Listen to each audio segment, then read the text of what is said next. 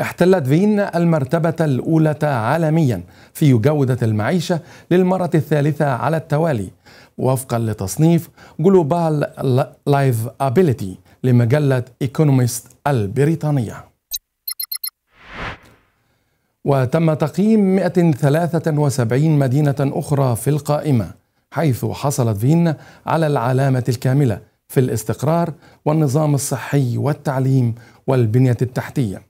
وجاءت كوبنهاجن في المرتبة الثانية تليها زيوريخ وملبورن وجنيف في المرتبة الخامسة.